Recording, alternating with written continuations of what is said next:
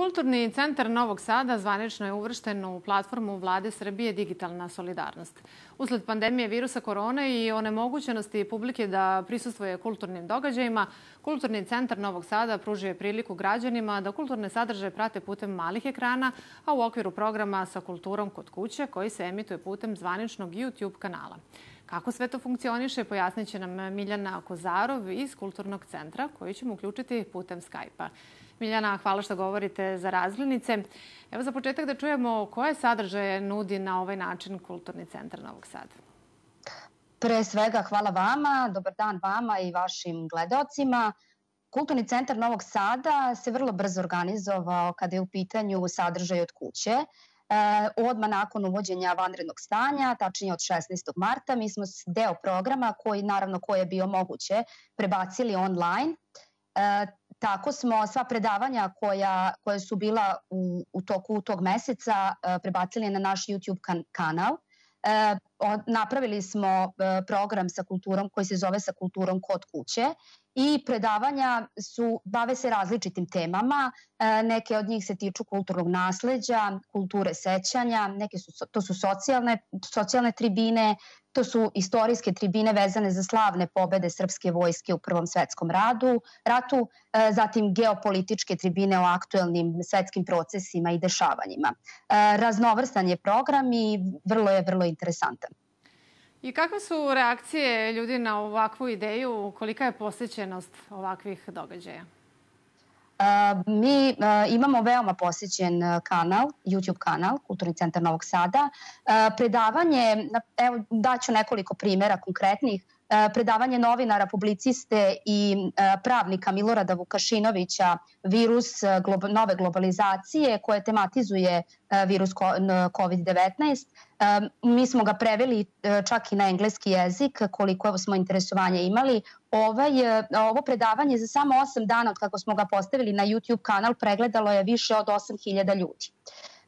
Naša predavanja vode vrlo zanimljivi i kompetentni predavači E, neki od njih su prof, e, doktor, doktor Boris Stojkovski koji je imao e, predavanje na temu Murat I i, i uspon Osman, Osmanskog carstva, Osmanlija.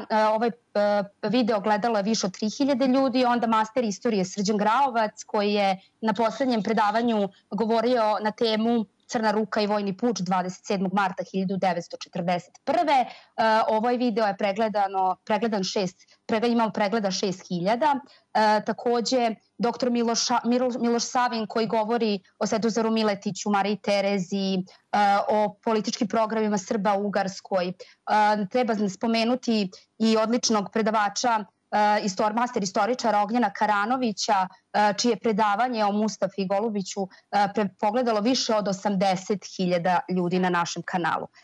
Ono što je važno istaknuti jeste da mi ovakav način rada radimo već od, dve, od 2015. godine, tako da je naš YouTube kanal izuzetno posećen i veoma pozitivne komentare imamo i naravno i za ovaj sada program reakcije gledalaca su odlične. E, naš kanal beleži 2 e, miliona i 800 hiljada pregleda od kada smo počeli da radimo e, od 2015. a u ovih mesec dana imamo više od 150.000 pregleda. Miljana. YouTube kanal prati 7.000 gledalaca. Recite. Miljana, šta ne propustiti narednih dana? Šta predlažete? E, pa evo ovako, narednih dana imamo raznovrstan program. Za dve nedelje e, će Ognjen Karanović imati predavanje na temu španske groznice, koja će naravno podvući paralelu trenutne situacije sa COVID-19. Ovo predavanje ćemo takođe prevesti na engleski jezik. Takođe je uh, u toku i likovni program. Galerije jesu zatvorene za posetioce, ali uh, može se pogledati na našoj internet stanici likovni program Kulturnog centra Novog Sada. U toku je izložba Danice Mitrović. Takođe, svi naši gledoci mogu da e, čitaju naš e, časopis za književnost i teoriju polja koji je dostupan i u digitalnoj formi na adresi polja.rs. E, januarski broj je čak preveden i na nemački jezik.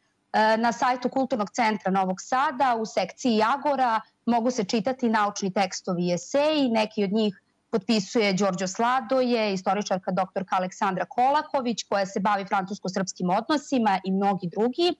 U okviru programa sa kulturom kod kuće imamo i ciklus Svet digitalne umetnosti gde o međunarodnim e, videofestivalima govori Andrej Tišma. On će za tri dana pričati o festivalu videoforme koji se ove godine održao u Francuskoj, tako da očekuje nas vrlo, vrlo zanimljiv program u narednom periodu.